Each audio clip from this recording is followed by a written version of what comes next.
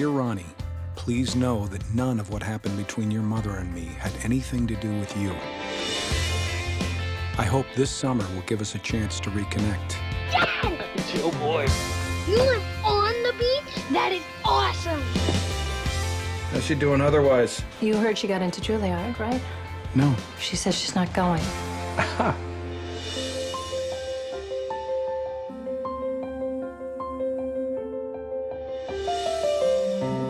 Look, I got bacon here. We got breakfast. Vegetarian, Dad. Since when? For a year and a half. It's ridiculous. Do you and Mom ever think about getting back together? Mom's about to get married. So? You have dibs.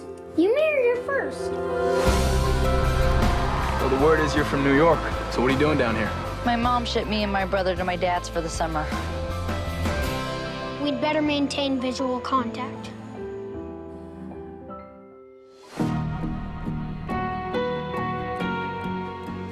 Your sister just got kissed. It's all over her face. No, it's not. She got kissed. Hey, she was kissed. Take a good look. no, no. Beautiful melody when the nights are long.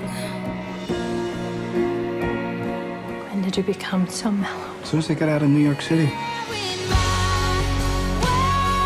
No one has made me feel like you do, Ronnie. We make mistakes. We're not perfect, any of us. I'd probably talk about this with a girlfriend if I had one here, but I don't. Oh, do you want to talk? Yeah. Let's talk.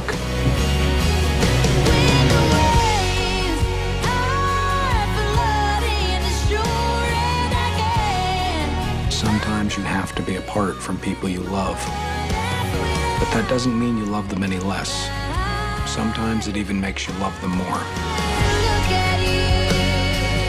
Stop smiling like that. It's creeping me out. My smile creepy? Let's see it. Kinda.